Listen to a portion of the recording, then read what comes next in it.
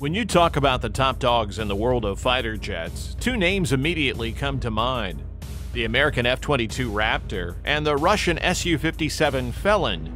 These aren't just planes, they're the culmination of decades of innovation, engineering, and a bit of old fashioned competition between superpowers. The F 22, built by Lockheed Martin, was the first fifth generation fighter jet ever made. It's sleek, stealthy, and built to own the skies. On the other hand, the Su 57, developed by Sukhoi, is Russia's answer to the F 22, a jet that's designed to do a bit of everything air superiority, ground attack, and electronic warfare. But how do they stack up against each other?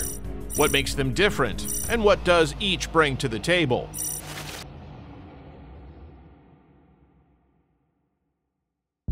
Let's start with the F 22 Raptor. Right off the bat, you'll notice its distinctive angular design. This wasn't just a stylistic choice, it's all about stealth. The F 22's shape, combined with its radar absorbent materials, is specifically designed to minimize its radar cross section. In simple terms, this means that on enemy radar, the Raptor appears as little more than a bird or a small drone, if it even appears at all. Its smooth surfaces and sharp angles work together to deflect radar waves away from the source, making it extremely hard to detect. The Su 57, while also incorporating stealth, takes a slightly different approach. It's not as focused on being completely invisible, but rather on being stealthy enough while maintaining other vital features like maneuverability and speed. The Su 57's design incorporates a mix of flats and curved surfaces, with composite materials and radar absorbent coatings to reduce its radar signature. However, it doesn't go to the same lengths as the F 22. The Su 57 is a bit bulkier and has a more complex shape, but that's because it's designed to balance stealth with other attributes that the Russians value, like agility and versatility. Speaking of agility, let's check out the engines that power these jets.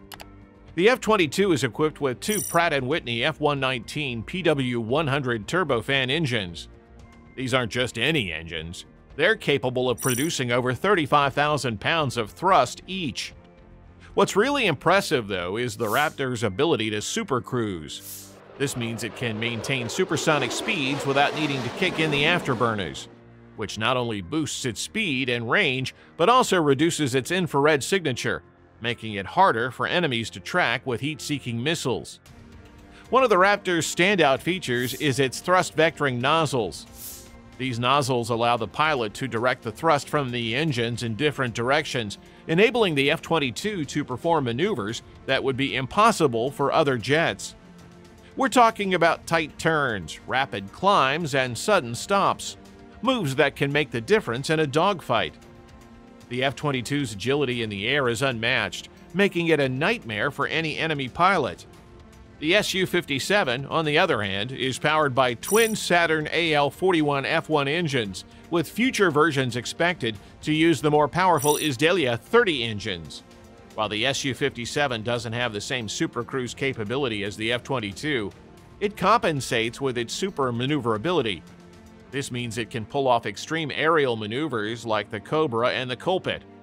These moves aren't just for air shows, they can be the key to evading a missile or gaining the upper hand in close quarters combat. The Su 57's engines are designed to provide both high thrust and exceptional agility, making it a formidable opponent in any scenario. Now, let's step inside the cockpit. The F 22's cockpit is a high tech marvel. The pilot is surrounded by a fully digital glass cockpit, with all the critical flight information projected onto a heads-up display. This allows the pilot to keep their eyes on the sky while still getting all the data they need.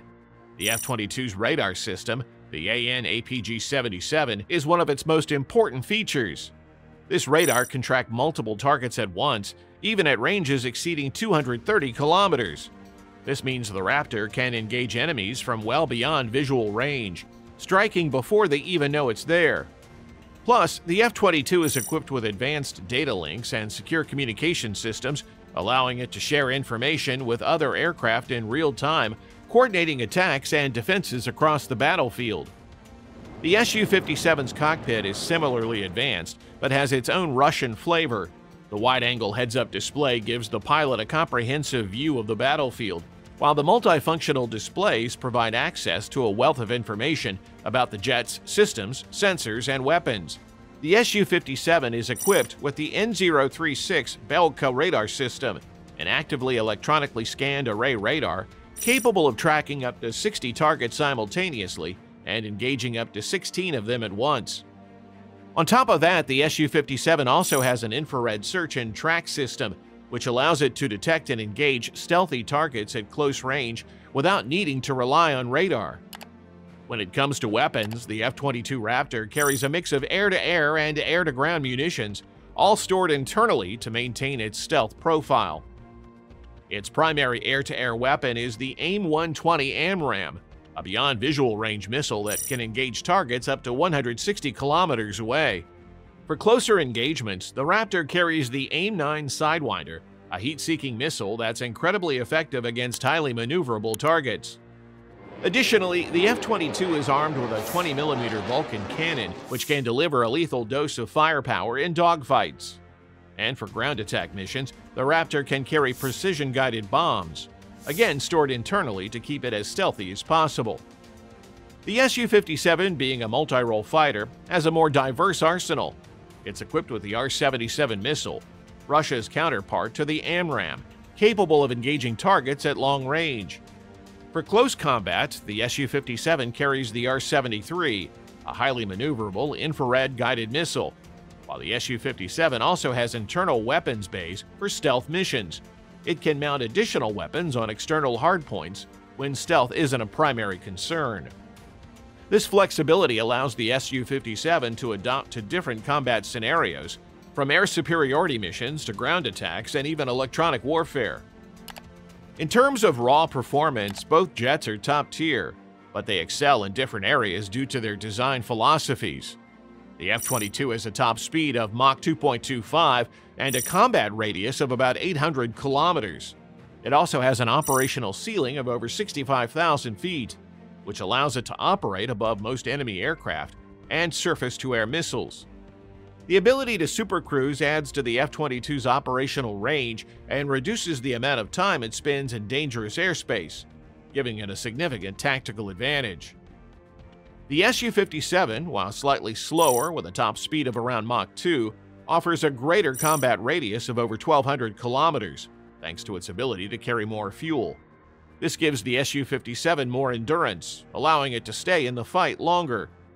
The Su-57's operational ceiling is slightly lower, at around 60,000 feet, but its emphasis on super maneuverability means it can hold its own even when faced with the most challenging aerial combat situations. The differences between the F-22 and Su-57 reflect the strategic priorities of the United States and Russia. The F-22 is designed primarily for air superiority, focusing on stealth, speed, and first strike capability. Its mission is to establish air dominance by taking out enemy aircraft before they even know it's there. Its supercruise capability, combined with its low radar cross-section, makes it the perfect platform for intercepting and destroying enemy aircraft at long range. The Su-57, on the other hand, is designed to be more versatile, capable of handling a wide range of missions. While it's certainly built for air superiority, it's also designed for ground attacks, electronic warfare, and even anti-ship missions. The Su-57's design reflects a more balanced approach, where stealth is important, but so is versatility and resilience. The Su-57's ability to carry a variety of weapons and perform extreme maneuvers makes it a flexible tool for the Russian military, capable of adapting to different battlefield scenarios. So, when it comes down to it, the F-22 Raptor and the Su-57 Felon are both incredible machines, but they're built for different purposes. The F-22 is the ultimate first-strike platform, designed to take control of the skies and keep it. It's all about stealth, speed, and precision. The Su-57, meanwhile, is a more adaptable fighter, built to be effective in a variety of roles. It might not be as stealthy as the F-22, but it can do things the Raptor can't, like carrying a larger payload or performing complex aerial maneuvers. In a world where air superiority is key to military dominance, both the F 22 and the Su 57 stand as symbols of the cutting edge of aviation technology. Each jet is a reflection of its country's military philosophy and strategic needs, and each one has its strengths and weaknesses. Whether it's the F 22's stealthy first strike capability or the Su 57's versatility and maneuverability, these jets are the result of years of innovation and competition, and they represent the very best of what modern military aviation has to offer.